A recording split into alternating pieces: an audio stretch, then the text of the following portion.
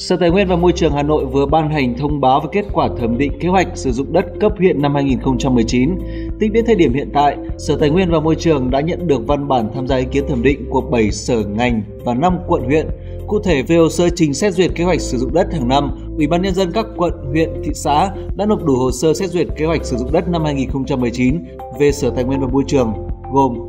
báo cáo thuyết minh tổng hợp kế hoạch sử dụng đất cấp huyện năm 2019, bản đồ kế hoạch sử dụng đất cấp huyện năm 2019, thông báo về việc tham gia ý kiến dự thảo lập kế hoạch sử dụng đất năm 2019 trên địa bàn các quận, huyện.